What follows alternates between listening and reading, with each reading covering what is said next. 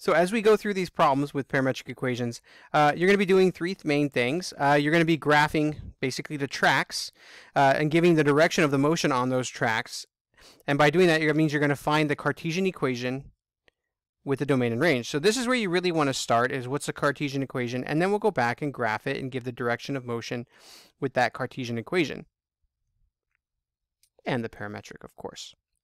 All right, so before we even start, I've already got this plugged into Desmos, so we can look and see what is going to look like, and then we just have to make it match. So I've got my x-coordinate plugged in as t squared minus 3, and I've got my g of t plugged in as t mm, plus 2, and we're going from negative 3 to 3. There's my start and finish. So you can already see where it's at at negative 3. So that's where we're starting, so we know we're going to go in this direction. And that's all we're really doing. And so we need to make this graph which we know is a parabola. So it's going to have a y squared since it's going in this direction. And then as we plug the values in, as our t's get plugged in, it will give us the coordinates and make our object move in that direction. So this is what our first one will look like. And we're starting with a linear function. Right here we have a t plus 2. So one of our will be linear. So we're going to have one equation as linear. And so if you see that linear one, that's the best place to start. So what we're going to do is solve it for t. So we have y equals t plus 2. So now if I bring that 2 over, we get y minus 2 equals t. This allows us to take our x equals t squared minus 3 and plug it in.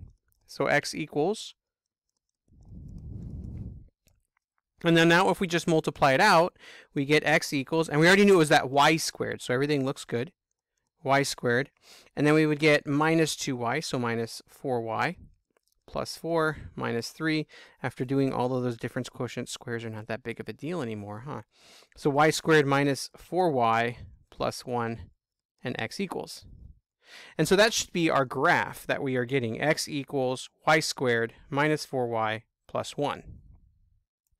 Now that x equals y minus 2 squared minus 3 is also a good graph. If you remember, this is just shifting. So we know our y coordinate will be at 2, and our x coordinate will be at negative 3. So it's just the reverse because we're working in that way. So we already know it's going to be at negative 3, 2. Now we can also use a table to graph this. So if we plug in negative 3 and then negative 2 and then negative 1, it's going to give us our graph as well. And I like to just use the calculator to get these values. It's a lot quicker and a lot uh, safer. So we do t squared minus 3. Remember, y equals, make sure your mode is in parametric.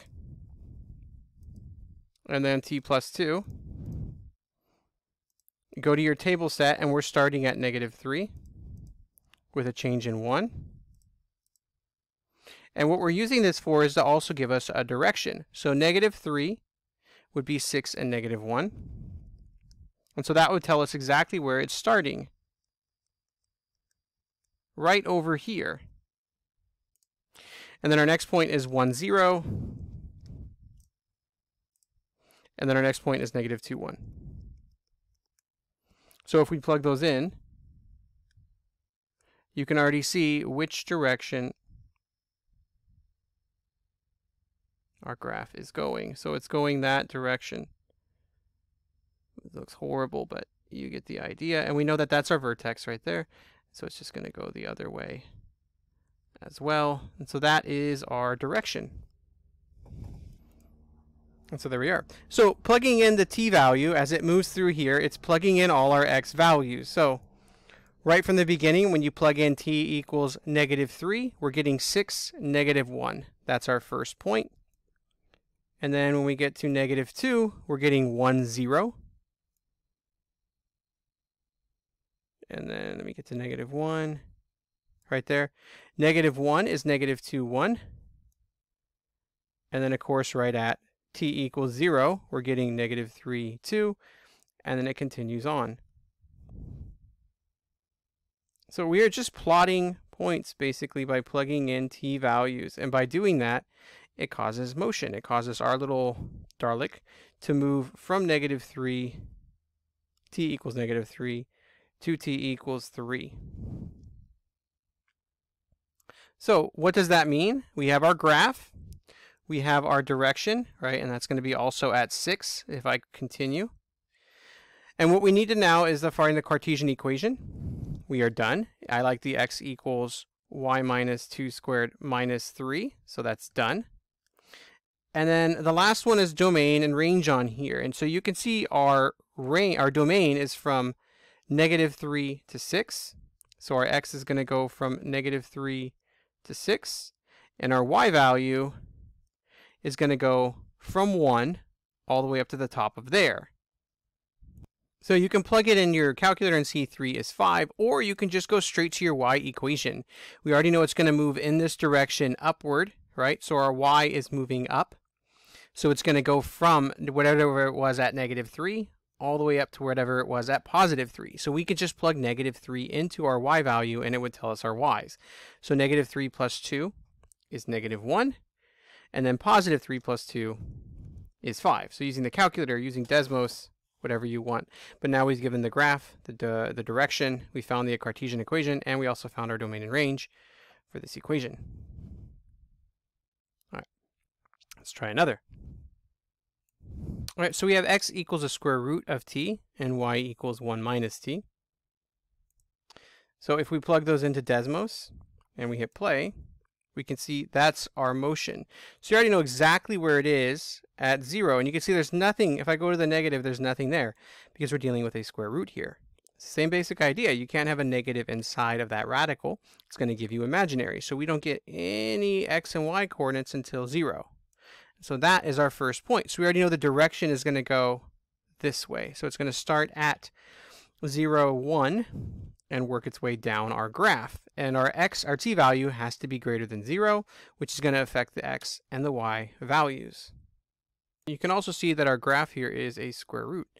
So again, we're playing with linear. So we're going to take our y equals 1 minus t, and we're going to solve. So plus t right, plus t. Basically, we're just going to switch the y and the t.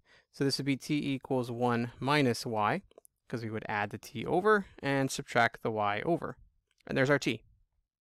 So now if we plug that in, x equals square root of t. So x equals square root of 1 minus y. We now have our Cartesian equation. And so that is our square root. It's 1 minus y. And then this is our track. And again, these give us the motion. So these are the motion along this track. And so you can see 1 minus y must be greater than or equal to 0. So if I move that y over, we say y has to be less than or equal to 1.